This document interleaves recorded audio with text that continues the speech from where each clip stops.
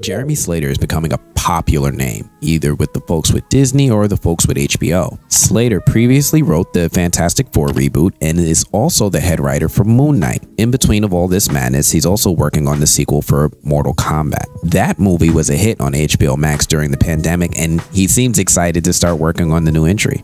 The news reads as follows. It's really fun so far. We're about halfway through the script. I'm working really closely with the director and the studios and the game guys, and I think I can't say anything about the actual story, but I think they definitely learned some lessons the last time around in terms of here's the stuff fans responded to, and here's what people like out of the movie.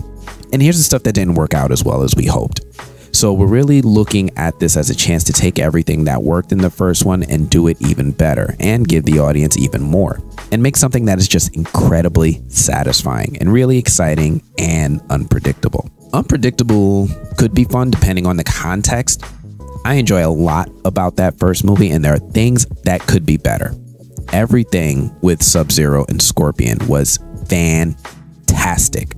The only unpredictable thing I need there is for them to find a way to bring back Joe Taslim as Sub Zero. If Joe Taslim is not in this sequel, then my interest is dropping faster than the temperature in the room when he enters a room. Anyway, that's all I have for this one. As usual, if you guys like these updates and want to see more, make sure you like and subscribe. Otherwise, I'm going to check you guys later. Peace. Check it out, yeah. Scared money, make less of it. Don't ever let the chance pass you by. Just keep your eye on the prizes. Life keeps spinning, these rules I break them. Life keeps spinning, them risks I take them. Run way to a bag. Thought you in the way, but I flew by. That G6 was in the